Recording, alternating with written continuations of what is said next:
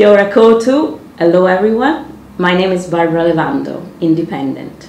My principal place of residence is the Motueka ward.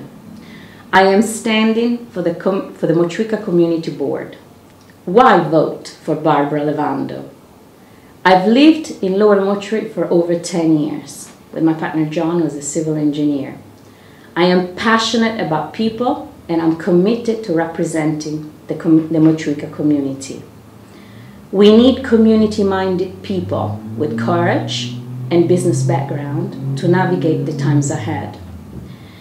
I'm a business owner, small farmer, policy advisor on climate change, lobbyist, and have strong experience in community governance.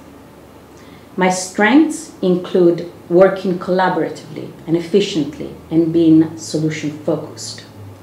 This year, we have the chance to put the people at the center of decision making.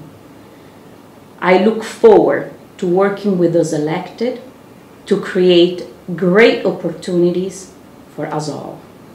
Trust me, Barbara Lewando, with your vote for a breath of fresh air in our community.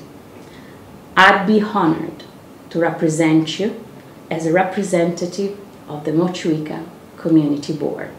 Thank you.